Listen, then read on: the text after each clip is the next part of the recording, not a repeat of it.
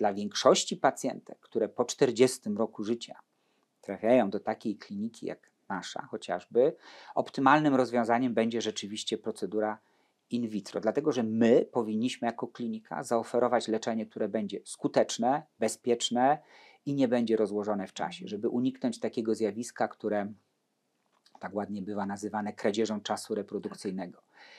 To nie znaczy, i ja to zawsze podkreślam na każdy, w trakcie każdej rozmowy z pacjentami, to nie znaczy, że to jest jedyna droga.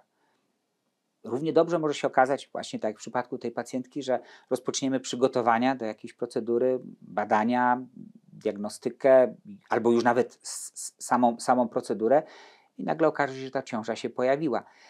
Tylko to nie jest coś, co my możemy zaoferować jako fachową poradę w takim miejscu.